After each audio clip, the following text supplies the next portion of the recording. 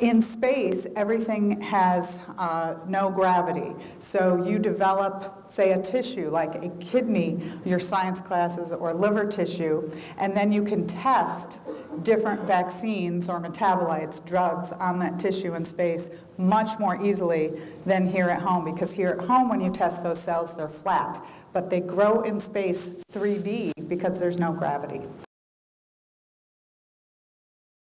What are some of the experiments that in astrophysics that NASA is doing right now? What are some of the experiments in astrophysics? The, the, astrophysics is, of course, extremely broad. Hubble is the most known of all our uh, space telescopes. But right now, I would say some of the most exciting research is coming from Kepler. Kepler uh, was launched just two years ago. The main thing we are doing is looking for other planets revolving around other stars. We call them fresh outs.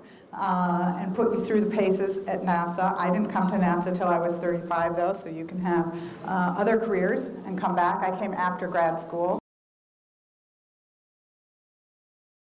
That's a good question. Okay, so um, we have flown just over 400 people in space. Total, total. Um, astronauts and cosmonauts. Uh, there's more astronauts than anyone else.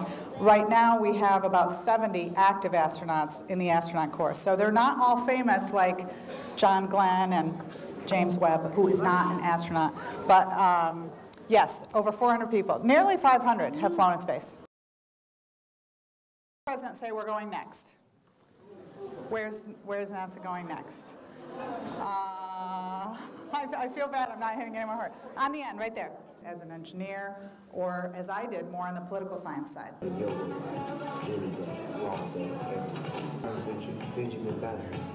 Science.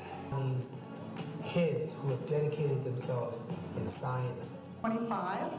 And so NASA is developing this rocket, the Space Launch System, actually uh, a star 3.9 billion